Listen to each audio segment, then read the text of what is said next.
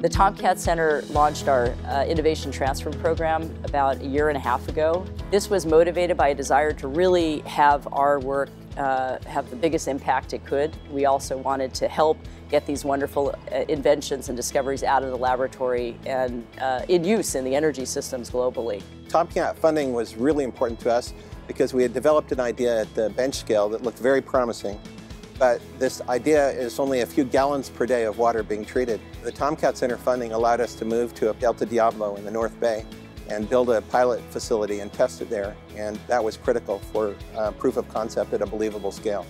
Well, the TomKat funding really came at a critical time for us. That allowed us to you know, hire more people, get the necessary equipment, reliability chambers, etc. I think the number one thing we got from TomKat was early validation.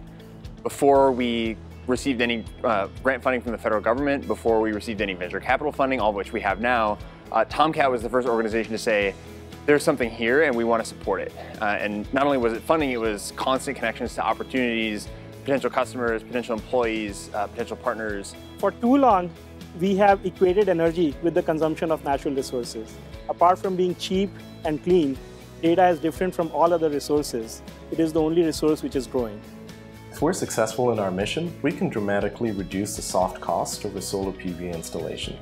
If we can allow our solar installers to go all the way from performing a preliminary site assessment to generating a permit set in one streamlined application, then the possibilities are, are huge in terms of um, making solar installations um, competitive with uh, conventional energy sources. What we can do together is much bigger than what we've done so far. That's and that's really something I care a lot about and hope will happen.